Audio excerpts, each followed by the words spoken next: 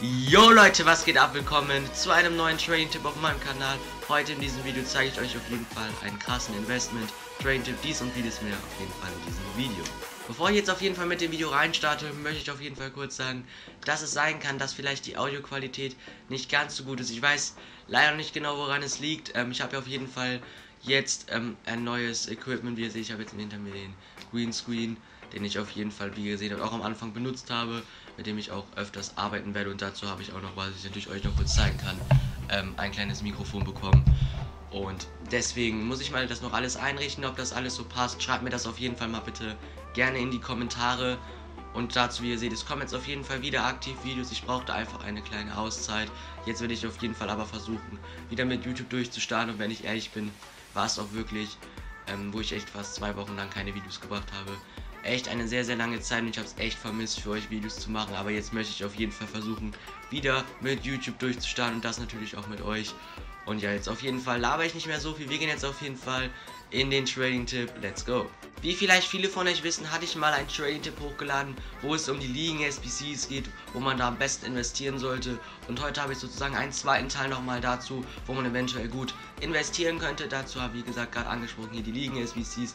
Ich zeige euch auf jeden Fall nochmal alle Ligen-SBCs, die aktuell draußen sind. Und natürlich sind das erst 8 Ligen, da fehlen auf jeden Fall noch viele.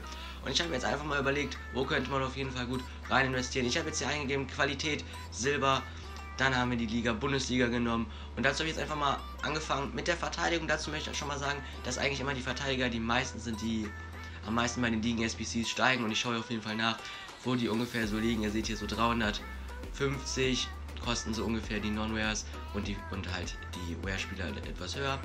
Auf jeden Fall habe ich mir dann auf jeden Fall gedacht, ähm, auf jeden Fall da rein zu investieren, so auf die Non-Rares so 300 Münzen zu bieten und auf die Rare-Spieler 400 Münzen ungefähr. Seht ihr ja auf jeden Fall hier im Hintergrund.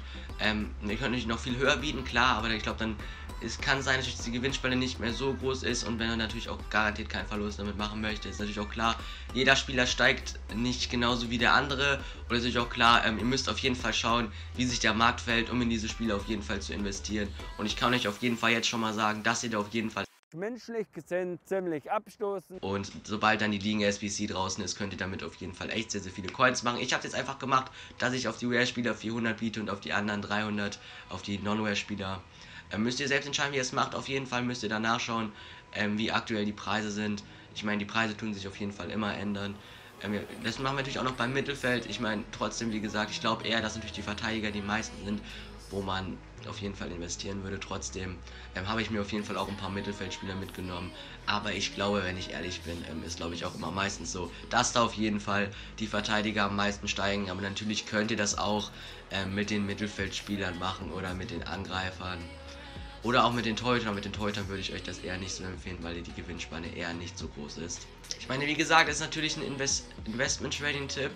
Ähm, natürlich muss eigentlich diese SBC kommen, aber man kann natürlich nie zu 100% sagen, ob wirklich auch diese Spieler dementsprechend so viel steigen. Aber ich glaube trotzdem, ähm, wenn ihr euch da auf jeden Fall ein paar Spieler mitnimmt, ähm, ist da auf jeden Fall trotzdem der Gewinn da. Und ja, also natürlich könnt ihr das auch mit anderen Ligen machen. Ich habe jetzt hier euch einfach mal als Beispiel die Premier League gezeigt. Ich meine, die Premier League ist an sich eine sehr gefragte Liga. Ähm, und dazu muss man auch leider sagen, weiß man ja nicht genau, wann diese Ligen-SBCs rauskommen. Das kann ähm, irgendwie heute sein oder was weiß ich, oder erst in zwei, drei Monaten. Das ist ja immer unterschiedlich. Auf jeden Fall ähm, könnt ihr es natürlich auch mit anderen Ligen machen. Ich mache es jetzt zum Beispiel auch mit der Premier League.